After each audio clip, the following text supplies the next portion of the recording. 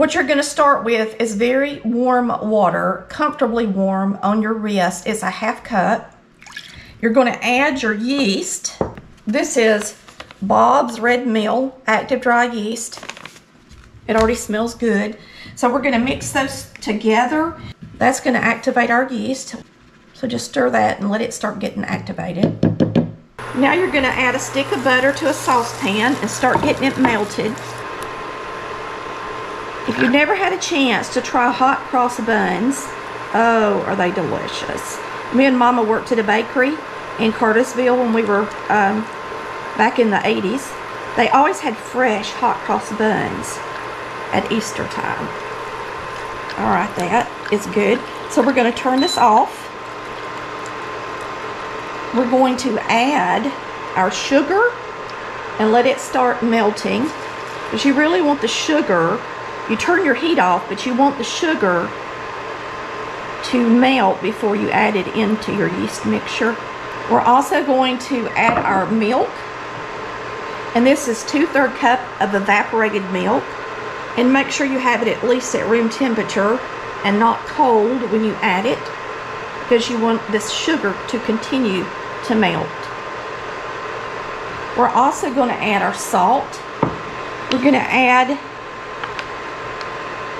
teaspoon of salt.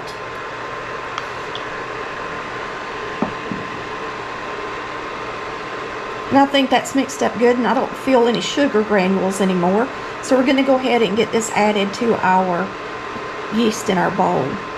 So we're going to add this to our yeast mixture.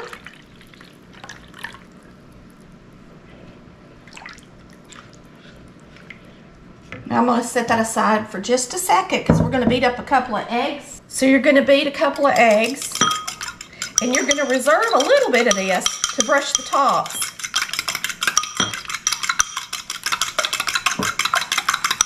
Now you're going to reserve a little bit of it to brush the tops of your rolls with. You can cover that with some plastic so that it doesn't glaze over and get tough on the top. And then we're going to add this to our mixture.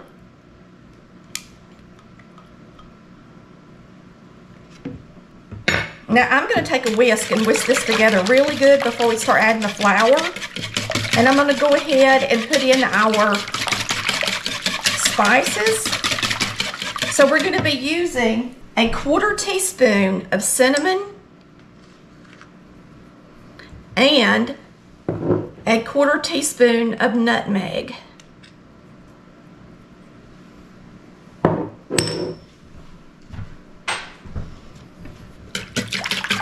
We're going to beat this up really good. Mmm, it smells so good. Yummy.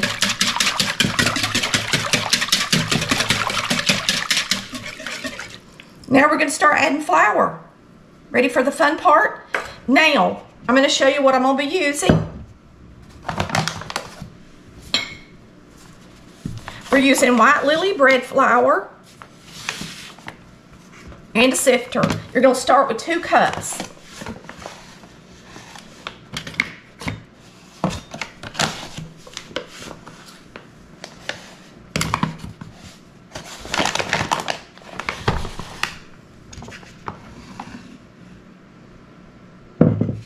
And you're going to sift this in.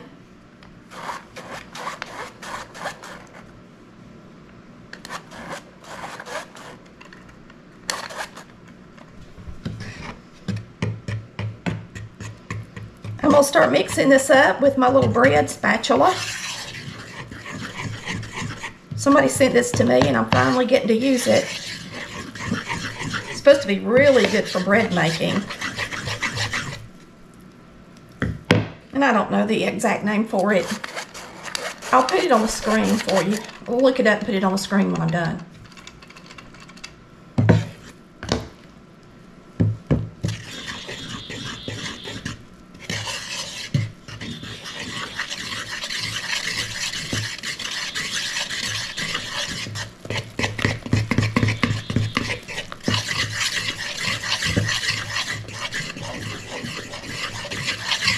Now you add that flour in and then you're going to continue to adding flour. You're going to continue adding flour until it's at a good sticky consistency so that we can get it out on the countertop. So I'm going to go ahead and put two more cups in here. It could be up to four and a half cups, but you just kind of use your judgment as you go. So we're going to start with two more cups. And make sure you sift it into your bread and mix it in a little bit at a time. Y'all, it smells so good. It makes me so hungry this morning. Now what you're going to want is a sticky dough. Not a wet dough, but a sticky dough. So you're going to continue to do this with your flour. And I know it's going to take at least four cups of flour. Or it should.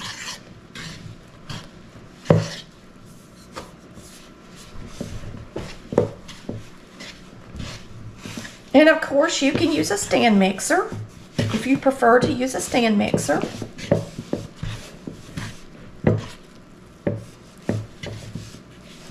That is really close to being ready.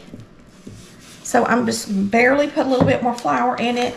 Try to get it mixed in good. Move this out of the way. It's making noise. And I don't think I'm going to need any more flour, that's for sure. I don't think I'll need more than four cups. Matter of fact, this is good. So we're going to get this out on the counter and start kneading it. You're going to need this for at least five minutes. Now here is our um, dried fruits. I used half dates, half raisins, and I chopped them up really small with my chopper. Um, and the great thing about using the dates is they have enough sugar and powder on them that they help the raisins not be so sticky, okay? And so what I'm gonna do is we're gonna start kneading this dough and I'm gonna go ahead and start putting this out on the counter and mixing this in here as we go.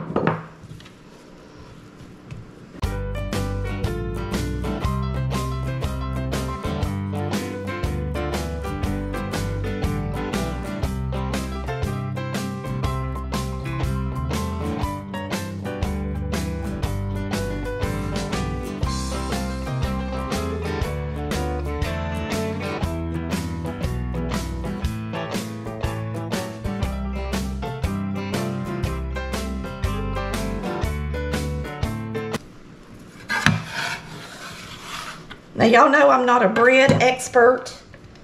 I've never been one to make a lot of fresh bread. But I've always wanted to do it. And um, I have done it with the mixer, but I've never done it this way. I always thought my arm would wear out.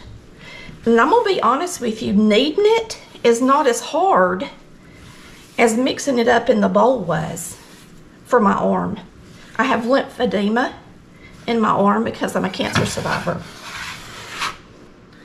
So just continue to get the extra dough up off the table with your scraper.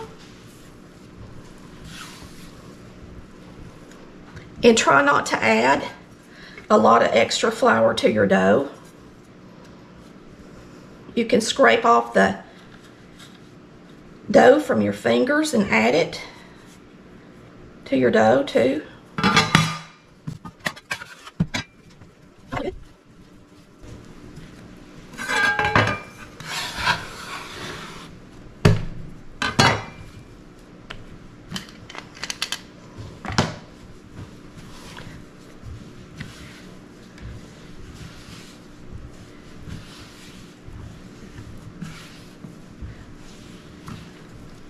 Now you're going to want it to rest for three minutes sitting on the table after you finish kneading it. So just let it rest. Three minutes. Wasn't that a lot of fun? Now, I'm going to show y'all what I learned from Phyllis Stokes. And she was a YouTuber and uh, taught really good cooking. That she taught me a great way to rise my bread dough, and that is using a heating pad. So we're gonna take the spread dough, and it's not in the pan that it's going to bake in at this point. It's just sitting here in a warm spot. So in order to rise it, when it's in the pan and it has more of a direct heat, I put it on low. But when I'm just rising it, I put it on a medium heat. And you can actually, I wouldn't use a high heat, but a medium heat works good. And we're just going to put a cover over the top of this and let this rise until it's double in size. So it'll probably take at least an hour. My heating pad has a automatic 40 minute shut off. So in 40 minutes, this is going to turn off. I'm actually going to turn this up on high since I have got it in this wood bowl instead of a glass bowl. And um, I will see you guys in about an hour. All right, y'all. Our dough has risen and doubled. I did transfer it to a glass pan because the wood one did not work well. So if you've got a wood bowl, remember just to put it in glass before you start the rising process. All I did is dump it in here and trade it out. When I seen it wasn't doing a really good job rising, I don't think it's a good conductor of heat like the glass is. So we're gonna get started punching this down and separating our rolls. Here we go. So you're gonna take your dough and you're gonna half it right in the middle.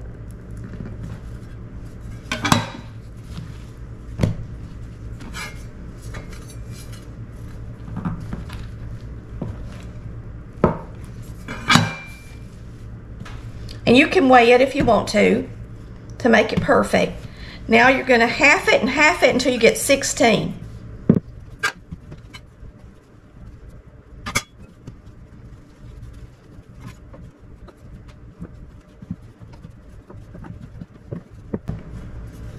Okay, so now we have 16 rolls. We're gonna roll them and put them in a nine by nine square. I'm gonna spray this a little bit.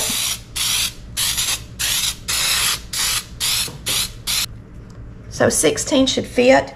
It should be 9 by 9 whether you use a round pan or a square pan, but a square pan's easier. And it needs to have sides that are at least 2 inches deep so that they can rise. Now if you want to make sure that they're perfect and round, you can tuck it on the bottom like so.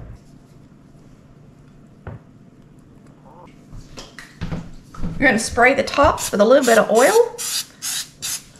Put some plastic over the top. Make sure it's loose fitting and not tight so that when they start to rise, it can expand. Okay, for the other half of my dough, I'm actually going to put it in a muffin pan. All right, this pan I put out on the front porch and it's in an aluminum pan and as I told y'all before aluminum is the best thing in the world to bake in and so these have risen up really pretty and they actually beat the ones I put in the pan first because I had them out in the sun so I've taken the 9 by 9 put it out on the porch as well. Be super careful taking off the plastic and also be very careful brushing the tops because you do not want to smash the roll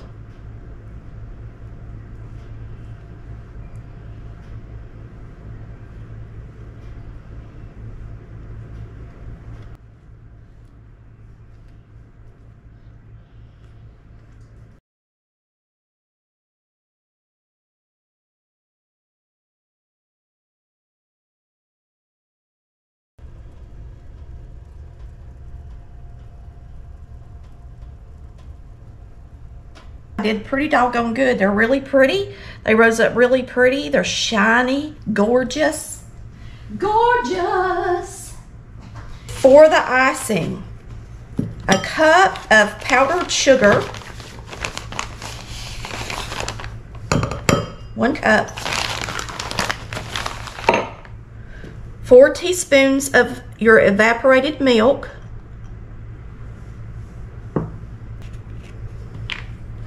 A quarter teaspoon of vanilla extract, extract. I'll try to be more careful this time. There you go.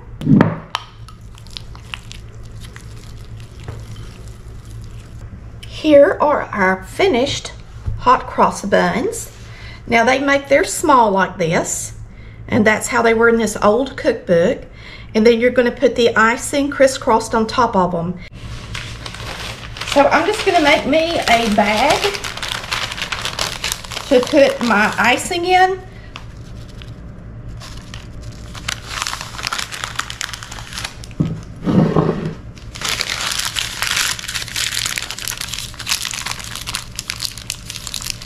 You really don't need a tip or anything. You can just cut the end of it off.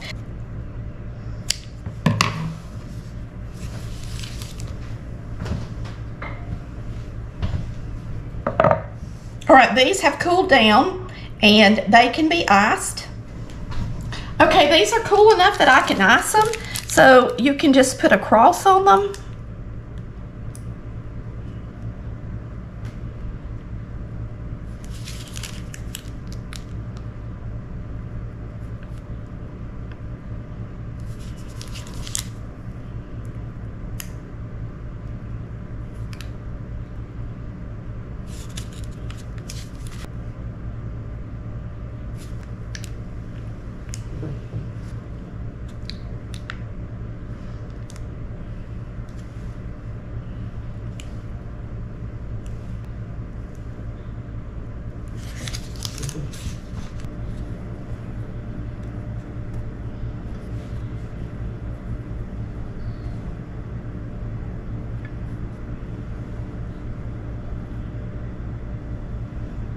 They are hot.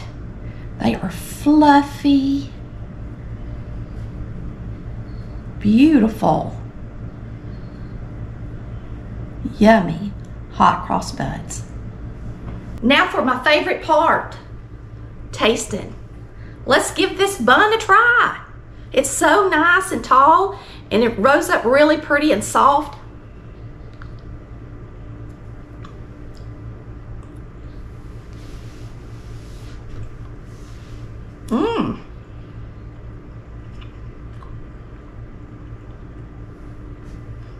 That's a delicious roll. These are super delicious. I've tried them both. They're both good. And now this is a much softer bun when you cook them together in a square pan. Thanks for watching Collard Valley Cooks, where we cook like Mama did. Bye, y'all. Love ya.